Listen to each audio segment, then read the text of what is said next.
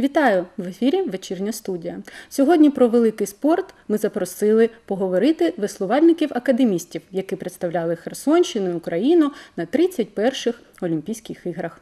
Я вас вітаю в нашій студії. Здравствуйте. К нам сегодня пришли Дима Михай, Артем Морозов, чемпионы Европы и мира 2014 года и участники 31-х Олимпийских игр. Чтобы о вас долго сейчас не рассказывать, я подготовила небольшой видеосюжет. Мы сейчас можем посмотреть о вашей спортивной карьере и вспомнить о ней.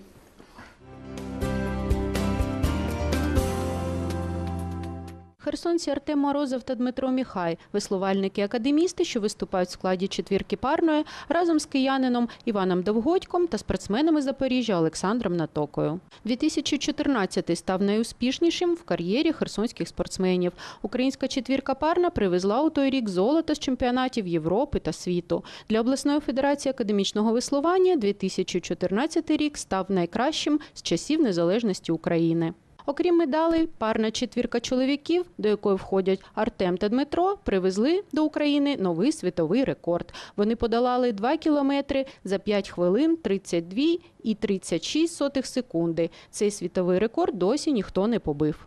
Херсонські веслярі неодноразово ставали спортсменами року. У 2015-му Національний олімпійський комітет оголосив номінантів на найпрестижнішу нагороду спортивний Оскар. Володарі золотих медалей та світового рекорду були представлені до нагород у двох категоріях. В номінації Сенсація року вони вибороли перемогу.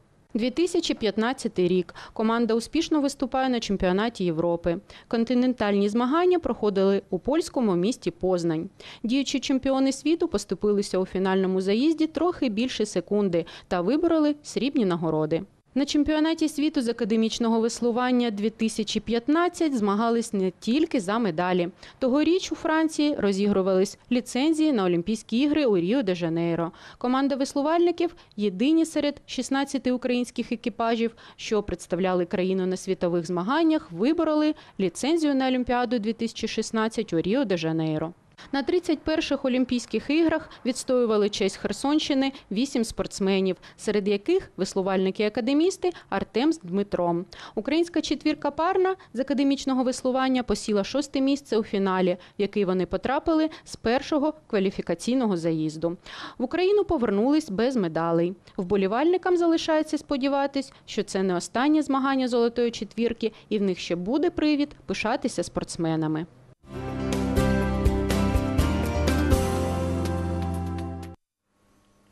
Все вспомнили. Да.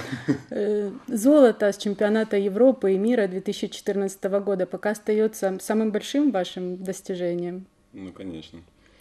Конечно, сейчас посмотрели все так в памяти освежилось, много моментов было, которые уже а, немного забылись, и ну, много было, ну, конечно же, приятных моментов.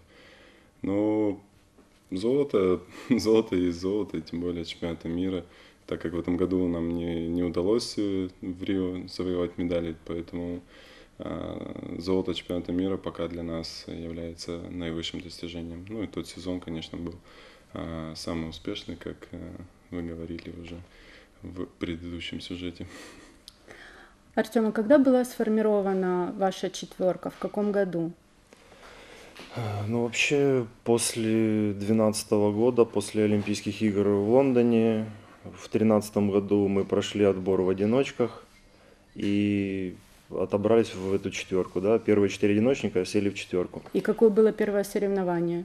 Э, мы выступили на чемпионате мира в Корее, мы заняли тогда четвертое место и поняли, что в принципе это неплохой результат и есть, есть перспектива. Мы были близко к лидерам, тогда были хорваты лидеры и мы проиграли меньше двух секунд. Э, для нас это было действительно достижением, то, что ну, мы там в секунде были от олимпийских чемпионов немцев 2012 э, года. И ну, поняли, что на, у нас может получиться хорошая команда, и что с этого можно э, идти, ну, с, отталкиваться от этого результата на дальнейшие соревнования. Так и получилось, что в 2013 году мы ну, были четвертые, в 2014 году мы уже были впереди всех и э, сильнее.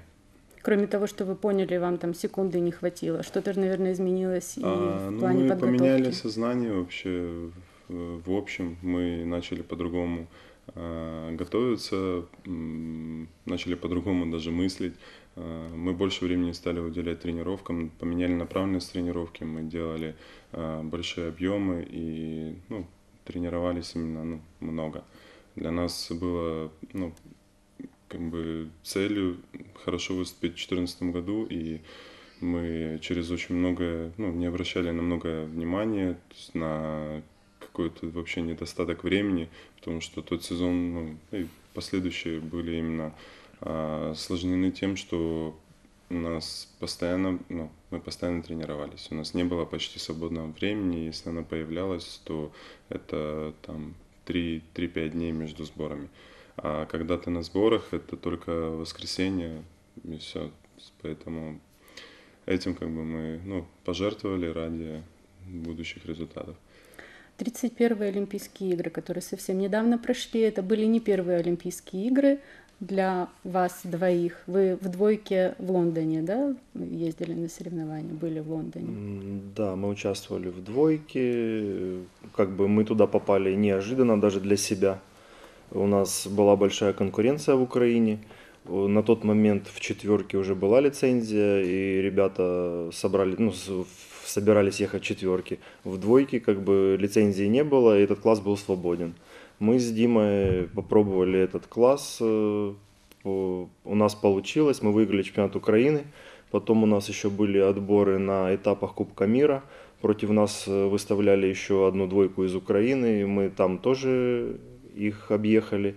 И это дало нам возможность э, выступать на квалификационной регате и бороться за лицензию. Там у нас тоже, в принципе, все получилось. Мы взяли лицензию и приятно удивили и себя, и тренера. Все были очень рады, довольны. А приятно себя удивили, потому что вы не так долго, да, в двойке тогда были? Да, мы буквально там несколько месяцев покатали этот класс, и в принципе у нас все получилось. Ну вот э, на Олимпийских играх на тот момент, э, может, мы рассчитывали на что-то большее после удачного выступления на квалификационной регате. То есть у нас там не все получилось. Мы попали в финал Б, и там как бы ну, не очень хорошо выступили. Но для первой Олимпиады это в принципе неплохо было уже само участие, это было круто для нас. Э, Статистика показывает, что от Украины на протяжении многих лет всегда лучше всего выступают и лучшие результаты показывают именно четверки. С чем это связано? Ну, потому что у нас есть большое количество спортсменов, э, но есть страны, в которых э, попросту ну, не хватает людей для того, чтобы создавать экипажи. И но у нас как-то заведено еще со времен Союза, что а, собираются сильные именно четверки. А, я не знаю, с чем это связано. Возможно, какой-то командный дух у нас, э, нашей страны развит, э, что а, удается именно сплотить команду не только ну, технически, но и, и духовно. То, что лучшие результаты, безусловно, именно у четверки парные. В 90-е годы четверка парная мужская брала медали ну, с мира, там вторые, третьи места много привозила. На Олимпиадах регулярно участвуют. Э, Кстати, ни одной Олимпиады еще за время независимой Украины э, четверка парная ну, не пропустила. А, Также была в Афинах медаль, э, ну, бронза была. И также мы как бы поддержим, ну, начали продолжать эти же традиции. Получается, как это идет для Украины, это традиции, есть традиционные классы, есть э, страны, которые, например, в Великобритании, это четверка безрульная, у них традиции именно в этом классе, они а, делают упор именно на этот, садят самых сильных именно туда. И точно так же у нас, у нас делается упор на четверку парную, туда садят именно самых сильных, и туда сложнее всего попасть, потому что конкуренция ну, идет именно, э, именно от четверки, отталкивается. Собирается сначала четверка, а потом остальные классы. Поэтому, если ты попал в число четырех, то, ну, можно сказать, что ты один из лучших в стране, и поэтому ты там, ну, как находишься. И так и получается, что дальше, ну, получается результаты показать уже э, у этой команды. Ну, Получается, и конкуренция сильнее, чтобы туда добраться. Да, конечно. Именно в Украине, внутри Украины все нас нацелены именно на четверку. Если ты не попадаешь в четверку, значит ты в этом году ну, проиграл, грубо говоря. Но мы чуть-чуть с Артемом сломали этот стереотип в 2012 году, потому что также мы намеревались попасть в, число, в четверку. Была лицензия, как Артем говорил, было на подготовке 10 э, грибцов. Ну, все 10 очень сильные, и ну, как оказалось, что все были равнозначны. Э, Возможно, на нас э, другие ребята ну, не ставили на то, что мы можем конкурировать с ними и так далее. Но по ходу сбора мы по там было три дистанции у нас, и мы с Артемом, Артем был первый в одиночке, я был второй в одиночке. И то есть мы как бы поняли, что мы можем, ну, мы довольно-таки на высоком уровне, и тогда у нас и я и концепт открутил хорошо, ну, тренажер наш э, тоже результат хороший показал, что, ну, тогда я уже, ну, набрал свои оптимальные э, кондиции, фи- форму свою, и, в общем, отбор был через двойки на чемпионате Украины. Стало, ну, пять сильнейших двоек, даже, по-моему, даже никто не выставлялся из других э, ну, других ребят там, ну, никто не выставлялся, потому что понимал, что это бессмысленно, потому что первые пять мест будут заняты, потому что действительно сели самые сильные. И каким-то чудом, везением, удачей мы с Артемом выиграли этот заезд в очень ну, жесткой борьбе, и получилось, что мы должны были вообще по системе отбора, первая, вторая двойка должна была садиться в четверку. И э, на их базе еще третья двойка ну, едет к ним на сбор, и из шести человек формируется четверка. Но у нас э, выиграли не те, и на следующий день э, ребята, которые накатывали четверку, они были третья, четвертая двойка, они выиграли у нас, мы уже были немного не готовы, и вообще, в принципе, четверку ну, не готовили. И они как бы выиграли, сказали, мы выиграли, значит, мы едем. И таким образом они ну, как бы имели э, влияние на м, вверху, и им разрешили это сделать. И нам пришлось, э, так как мы выиграли двойку, нам пришлось идти через двойку, ну, нам позволяло как бы результат идти дальше. И вот таким образом мы уже пошли дальше. Нам еще один этап, как Артем говорил, на отбора на Кубке мира устроили, что еще нужно было раз доказывать, что мы должны ехать э, на лицензионную регату. И уже как бы там тоже выиграли, уже на лицензионной регате ну, взяли э, свою лицензию. И после нее, конечно, уже был такой ну, спад, и у нас ну, не получилось удержать этот ну, пик формы. И, э, возможно, уже ну, весна была очень тяжелая э, в плане подготовки, в плане соревнований, что на Рио нас уже, не- ой, на Рио, на Лондон нас уже не хватило. Э, В составе вашей четверки сейчас еще Александр Натока и Иван Довгодько. Да. Они ездили тогда на Олимпиаду? А?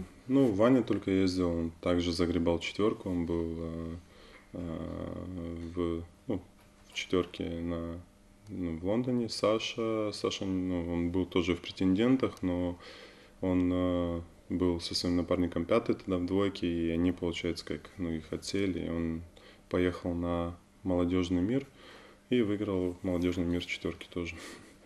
Артем, а как, по твоему мнению, то, что вы уже побывали до этих Олимпийских игр на Олимпиаде, это больше дало возможности ну, лучше выступить по сравнению с другими спортсменами, для которых эта Олимпиада была первая?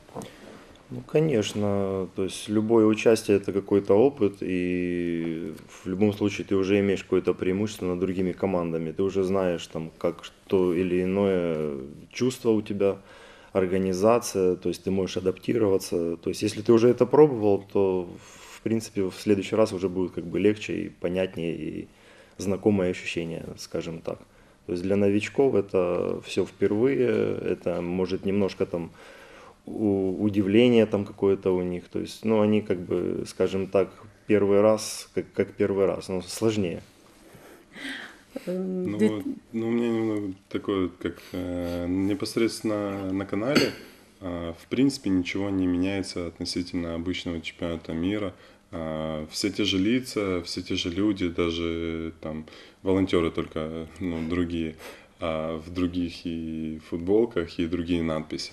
А так, по принципу, ну, все точно так же. Ты только когда выезжаешь оттуда и попадаешь в деревню, то там, конечно, совсем по-другому уже все. Другие виды, ну, другие страны и, ну, и так далее. И Возможно, только, ну, даже в Лондоне мы, наверное, даже не прочувствовали на полную а, мощь, как бы, всю именно Олимпиаду, потому что мы жили не в основной деревне, а жили в университете одном, как, так как сделали филиал от деревни, так как нам у нас был далеко канал, и тяжело было добираться. Организаторы решили не селить э, греблю с основными видами, ну, со всеми остальными видами спорта. И То поэтому... есть даже атмосферы такой почувствовать Да, не такой успели. атмосферы именно. Ну, зато отвлекающих маневров было меньше. Да, ну, это да. Ну, да, как бы там, конечно, была территория намного меньше, и было ну, скучновато. Но все равно, даже если сравнивать э, наш филиал в Лондоне с э, Олимпийской деревней в Бразилии, то там по организации как бы было намного интереснее, все круче. Ну, как бы европейские страны к этому подходят более цивильно. Потому как, ну, у бразильцев, я не знаю, то ли видение какое-то другое отношение к спорту. Ну вот э, в Лондоне мне, например, в нашей деревне маленькой понравилось больше, чем в Бразилии. Ну, просто понравилось, что он жил один. А тут у нас было три комнаты, и мы еще жили с пятиборцем э, и с его тренером. Но это Они ж не только у него была такая привилегия, это все жили Да, по одному. Все жили по одному, да, я же говорю, поэтому это было основным его, э, для него плюсом. Давайте 2015 год вспомним тот момент на чемпионате мира, когда вы выиграли лицензию. Мы видели сегодня в сюжете эти моменты ваши счастливые. Да, Как можно сказать, меняется? именно, именно выиграли, да, потому что она была тяжелая. Правильно говорить, взяли лицензию, Нет, ну, разыграли. тут- тут на самом деле тут именно Выиграли. Выиграли, да, подходит. Это, для нас была как, э, как медаль, потому что, ну, в тот момент мы, может быть, не осознавали после самого финиша, потому что не ожидали такой жесткой борьбы от э, новозеландцев и до тех же поляков. Э, мы рассчитывали, что будем, ну, немного впереди, без, э, как, э, таких усилий. Нам на самом деле стоило очень много э, сил, чтобы добить, э, добиться именно этой лицензии. Как-то все на чемпионат мира, на Олимпийские игры, вот на эти, они все были по-другому готовы. Ну, возможно, мы просто не были готовы так, как в 2014 году в своих ну, лучших кондициях, в своей лучшей форме. Но борьба была ну, намного жестче.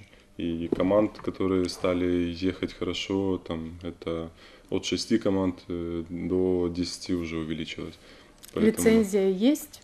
Как меняется ваш график работы? Что происходит после того, как вы осознаете, понимаете в вашей четверке, что вам предстоит через год участвовать в Олимпиаде? Меняется что-то? Ну, мы уже до этого, в принципе, работали по очень э, сложной схеме, да, как Дима рассказывал, у нас график тренировочный очень плотный был. Мы... Что такое плотный график тренировок? Сколько часов в день и сколько дней в неделю вы занимаетесь? Ну, мы занимались 6 дней по 7, ну, около 7 часов, там, плюс-минус, там, когда полудни или надо добавить объем нагрузки, может, там до 8 доходило. И с появлением лицензии ничего не меняется, потому что вы заранее уже готовились, да, Ну были да, настроены да. на то, что лицензия будет Ну, у в вас. принципе, лицензионный чемпионат мира это как бы для нас был проходящий. Мы из- изначально готовились на Олимпийские игры. То есть мы почему-то были уверены, что мы возьмем Мы не ожидали лицензию. просто такой жесткой борьбы на самом деле. Мы думали, это ну, мы зацепимся, во-первых, и за медали в 2015 году, и будем идти дальше, ну, им уже ну, на Рио.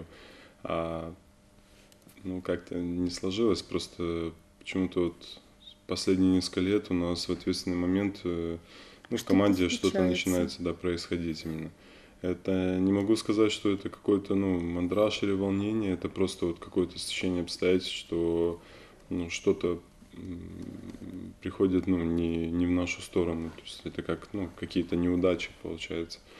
Возможно, ну, я не знаю, с чем это связано, но вот уже э, четыре, четыре соревнования да, подряд, это две Европа, мир, Европа, Олимпиада, вот то, что вот не так все гладко, как, ну, как мы хотели бы, и по, ну, по состоянию организма, и а, то, как э, команда ну, выглядит именно внутри лодки.